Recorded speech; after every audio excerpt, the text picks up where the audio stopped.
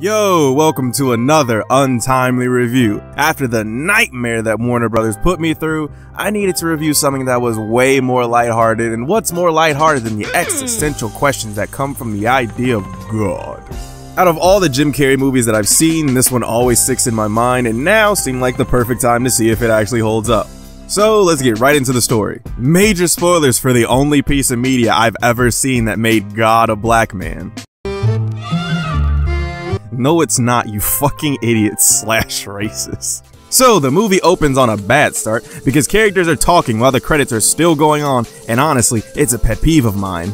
But the first thing that we see is this face, so all that negativity is thrown away and I'm back engaged. The first words we see Jim Carrey's character say are, God, why do you hate me? And usually, I don't like this type of heavy handed dialogue, but I'm in a good mood, so I'm letting it go.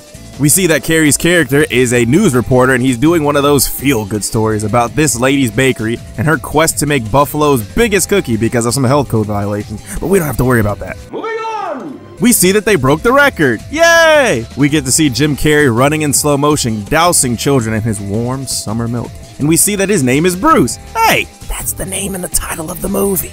Once that's over, we see that Bruce really wants to be an anchorman. He was even in that movie too. And yes, if you haven't noticed yet, we are four minutes into the movie and there's still some credits going on.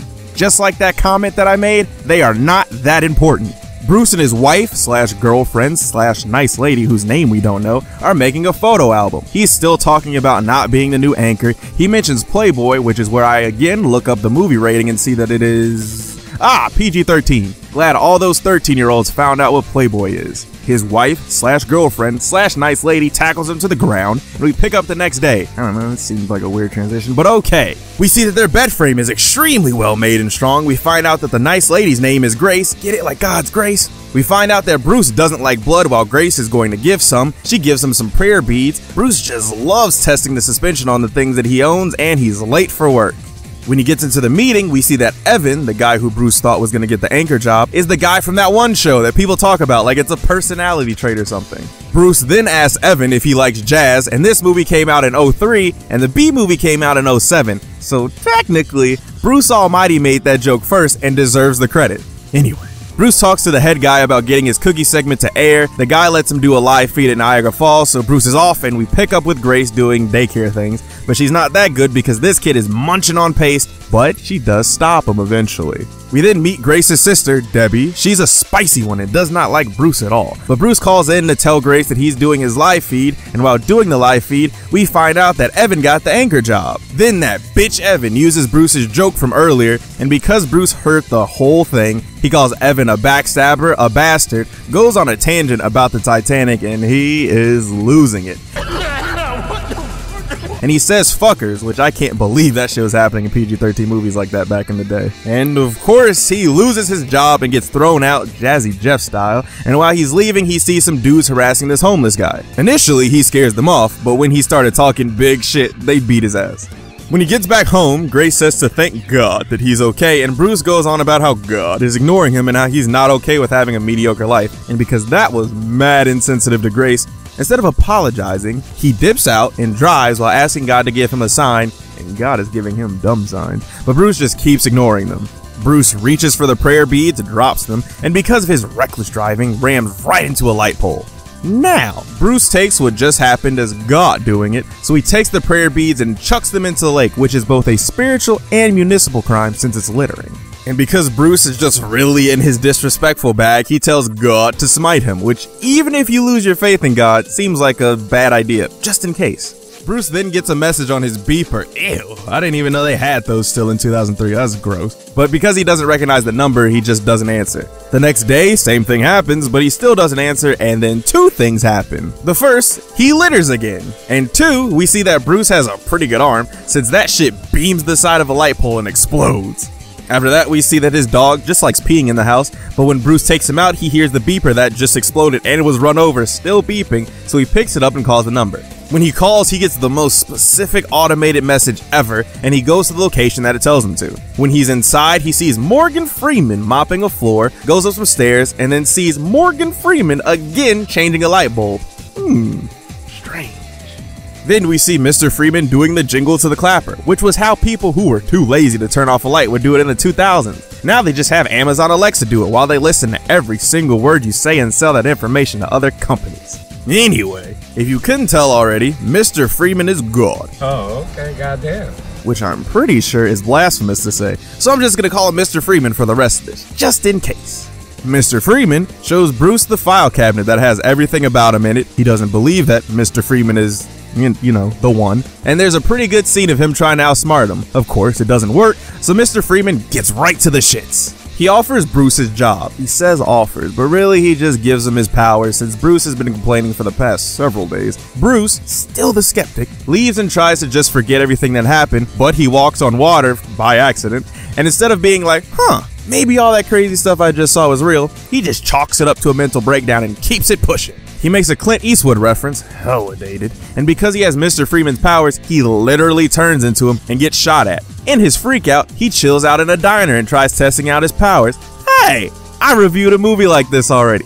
Go check it out, please. Then he manifests a spoon, which I didn't notice was CGI when I first saw this, but I was like six, so that makes sense. When he gets his tomato soup that this nice but pushy lady gives him, he parts it like the Red Sea. It just keeps getting more and more heavy handed and he was doing all this with no regard to who could see him do it. Mr. Freeman pops up to explain the rules of his powers while walking on this obvious green screen, and there's only two, so it's mad easy to remember. The only two things he can't do are tell anybody that he's, you know, the GOD, and mess with free will. Once he's got it, Mr. Freeman takes a vacation, and Bruce goes on a montage of using his powers to the 1990 song The Power, which if you've seen more than mm, maybe 15 movies from the 2000s, you've probably heard it.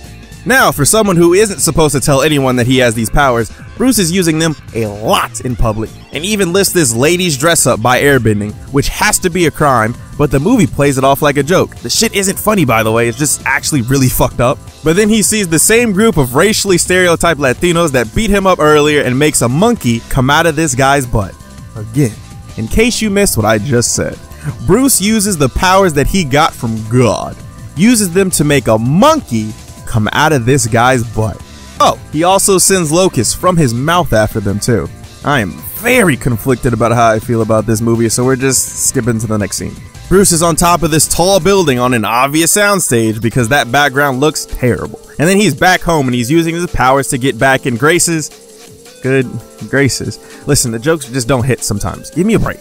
This is where we get one of the more memorable scenes where Bruce brings the moon closer to Earth, which if you know anything about the moon, this caused massive tsunamis and death, but this is a comedy, so no need to think about the implications of our character's actions.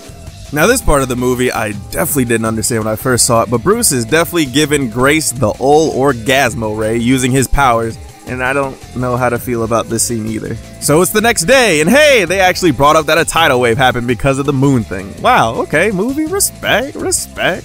Now this is where Bruce is also starting to hear the prayers of everyone on Earth too, and he makes his dog pee in the toilet, which is a scene that goes on for far too long, even though it's only like 15 seconds. When Bruce goes downstairs, it's also insinuated that Bruce made Grace's boobs bigger last night, so Bruce is really just cementing his place as a douchebag in this movie, honestly. Oh, and the boob scene is also longer than it needs to be, just FYI. When he leaves to get his job back, he changes his car to a Saleen, which I thought was a Ferrari, and nobody notices it changing. Kind of a running problem in this movie so far. While driving, he spreads the cars like the Red Sea, again, and drives to a park where Bruce makes it so that a police dog finds the body of Jimmy Hoffa, who is like a mafia guy or something, and Bruce is the first one to report on it. The more that I type this out, the more that I cannot believe some of the things that happen in this movie, but it's a movie about God taking a vacation, letting a dickhead take over, so it's honestly not even as bad as it could be. Also, just to spite the rival news crew that's there, he makes it that there's 202 pounds of weed in their van, so they're probably going to jail for life. Oh wait, no, they're white. Never mind. So Bruce goes back to his old job and he's back to reporting, only this time, because he has powers, you know he's only getting the juiciest of scoops. After seeing that montage, we pick up with Grace and her sister getting a massage, and we find out that they're not married yet because Grace's sister thinks that he's going to propose soon. When we see Bruce next, he's making Evan say nonsense during his anchoring, which seems like it's taking away his free will to speak how he wants, but oh, don't worry about that, he's making funny sounds. Bruce fucks with Evan so much that I can't imagine him not being fired, but that doesn't matter because it's dinner time, and Bruce and Grace are at this fancy establishment. And nope, he doesn't propose. This whole fancy establishment was all just to tell her that he got Anchor. And while Grace was just assuming that he proposed, it is massively narcissistic to have a dinner for yourself to congratulate yourself on something you orchestrated because you ruined a man's life. But remember the funny sounds? Anyway, during the dinner, Bruce is hearing those voices again. Seems like he should be hearing them all throughout the day, but whatever. Convenience is always good to keep a plot moving. The voices are too much for him, so he dips out to the alley for air when Mr. Freeman pops up to explain what's happening to him. Mr. Freeman jokes him for not helping anybody but himself over the past week and tells him that he's only been hearing prayers from a couple of blocks in Buffalo. This movie is actually pretty on point with the plot covers. When he gets back home, he organizes the prayers so he can better manage them, and we get a pretty clever Yahoo stand in. It's too bad nobody uses Yahoo now. And this is where I realized that this movie actually has a bunch of different memes and iconic scenes that I forgot about. But then, in his divine wisdom, Bruce decides to just say yes to every single prayer he receives. Which, if you couldn't tell, is really fucking stupid. But it's fine for now, I guess. The next scene, he's turning water into wine in front of mad people and no one says a thing. He uses his powers through his dog to try and coerce Grace to come to his anchor party, and then this raggedy wench comes in and tries to make moves on Bruce, who she knows has a nice lady, and Bruce does not try to get her off of him enough, and Grace sees them canoodling, which is obviously upsetting, and she leaves them. When he goes back in the party, because he's a sad little baby, he makes the sprinklers turn on, which makes everyone dip out, and Mr. Freeman comes to check on him.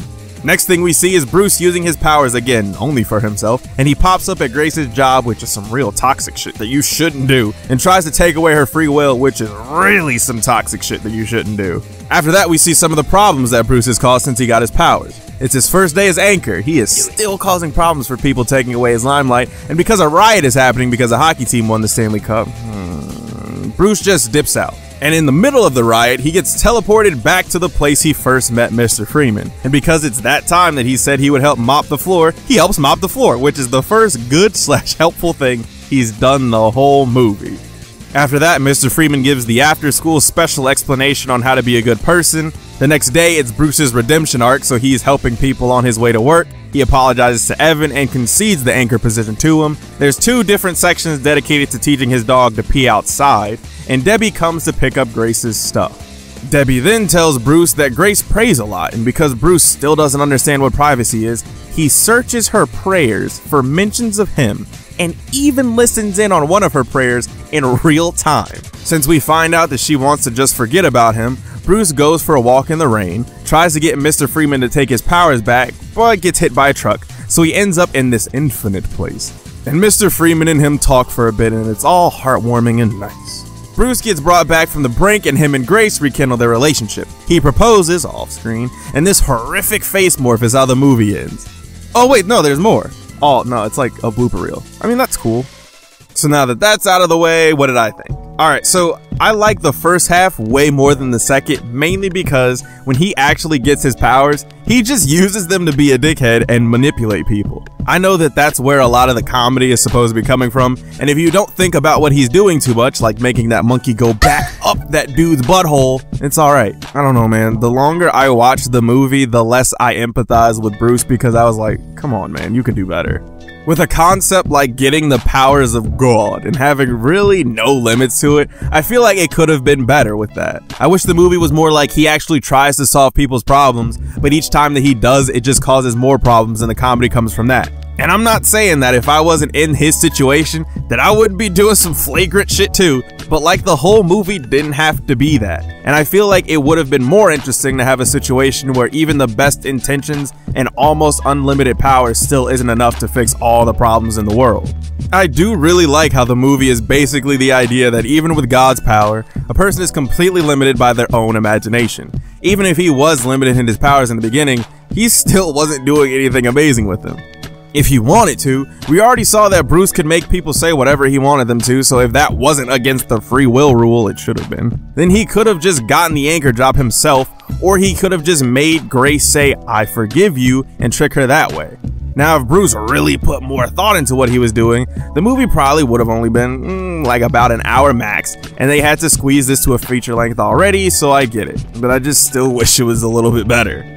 I mean, all the acting is solid. Jim Carrey and just physical comedy in general is really my bag. So aside from his character making decisions that I did not like, I really enjoyed his performance. Jim has this manic energy that is usually over the top, and to some people can probably get annoying pretty quickly. But for me, I actually really loved seeing whatever he was doing, and was excited to see what he was going to do next because it just never felt phoned in. Jennifer Aniston, who played Grace, did a really good job too, especially with the more emotional scenes near the end. It's just too bad that she didn't really do anything outside of being Bruce's love interest. Maybe if she was more involved with Bruce's story or if she had a side plot that mirrored his or something, I think her character would have had way more impact. Morgan Freeman as the one above all seems like he's genuinely having a good time, and since I mainly know him as a drama and suspense actor, it was nice to see him in a different light. I feel like this had to be the movie that made everyone think that Morgan Freeman should just always voice God, but I'm not a Morgan Freeman historian, so I'm just spitballing on that one. Oh, one more thing that isn't really even on topic with this. Even though I had previously seen this movie and the sequel, not sequel, Evan Almighty, I never noticed that Evan was played by the same guy. Just a fun fact, I guess. I don't know. I really did enjoy the first half of the movie, like I said, but the second half is just either too mean spirited or dumb for me to really like this movie all the way. I'd say at least give the movie a try, especially with some of the background visual gags, and then see how you feel about his actions toward the middle and end. So, what did you think? Was the review heavenly or did it leave you in the fifth circle of hell? Go look it up. Dante's Inferno is actually kind of cool. Let me know what I should review next. Hopefully, not a movie owned by WB for a while. And thanks for watching.